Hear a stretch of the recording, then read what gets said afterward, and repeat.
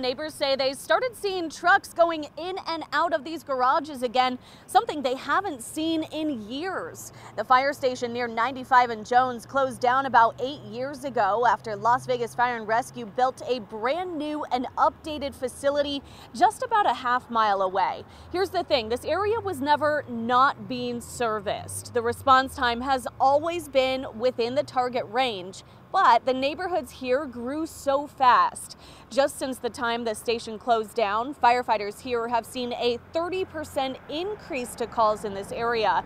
So the fire department decided to open this one back up, potentially cutting response times in half. I was really sad that it closed down because I thought we needed one in the neighborhood. My mom lives in this neighborhood, my aunt lives in this neighborhood, my kids are here. I mean, that's great.